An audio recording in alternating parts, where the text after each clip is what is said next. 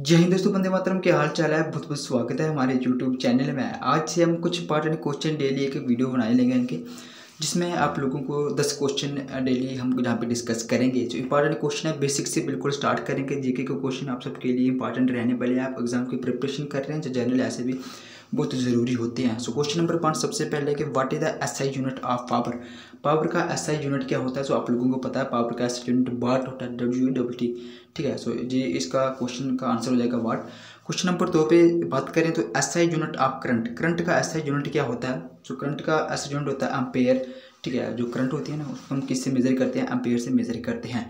Question number three हमारे पास है S I unit of temperature temperature जो ऐसा यूनिट है जो कैलबिन है, आपको पता है। और टेम्परेचर के रिलेटेड एक और क्वेश्चन बात करें, जो हमारी बॉडी का टेम्परेचर होता है ना थर्टी सेवन डिग्री सेल्सियस जो नॉर्मल हमारा बॉडी टेम्परेचर होता है, आगे हम इसको डिस्कस करेंगे। नेक्स्ट क्वेश्चन है, ऐसा यूनिट प्रेशर प्रेशर का ऐसा यूनिट क्या होता है? तो प्रेशर का ऐसा यूनिट होता है पास्कल मुझे पता है आप लोगों को शायद कुछ इन क्वेश्चन का आंसर पता भी होगा, लेकिन कुछ लोगों को नहीं पता है सो इसलिए बेसिक से स्टार्ट करेंगे थोड़ा।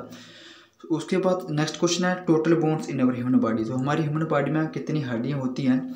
सो so, जिन लोगों को पता है तो अच्छी बात है जिनको नहीं पता मैं बताता हूँ। दो सौ छः यानी कि टू हंड्रेड सिक्स टोटल जो बोन्स ह्यूमन बॉडी में होती हैं जो अडल्ट होते हैं ठीक है? और जो मेन बात यह है कि जब छोटा बच्चा पैदा होता है ना तो उस टाइम उनकी तीन सौ बीस तक यानी कि तीन सौ से तीन सौ बीस तक उनकी जो टोटल हड्डियाँ होती हैं और जैसे जैसे इंसान की ग्रोथ होती है तो हड्डियाँ जुड़ती आती हैं और बाद में टोटल दो सौ छः हड्डियाँ होती हैं ह्यूमन बॉडी में।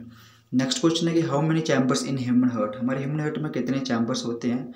ठीक है? सो आपको पता है चार चैम्बर्स होते हैं, दो आर्ट्रिकल दो वेंट्रिकल सो इस तरीके से चार चैम्बर्स इसका जो राइट आंसर हो जाएगा. नेक्स्ट क्वेश्चन है longest bone in human body human body में सबसे जो लंबी हड्डी होती है कौन सी होती है? जो इसका आंसर है फेमर और इसके बारे में बता दूँ जी हड्डी कहाँ पे प्रेजेंट होती है।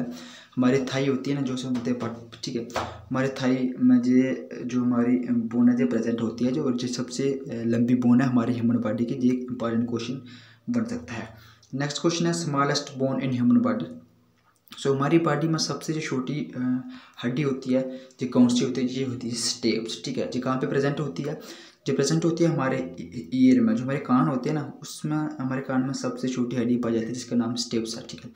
उसके बाद नॉर्मल ह्यूमन बॉडी टेम्परेचर हमारी ह्यूमन जो बॉडी की टेम्परेचर है, कितना होता है normal thirty seven degree Celsius होता है, ठीक है?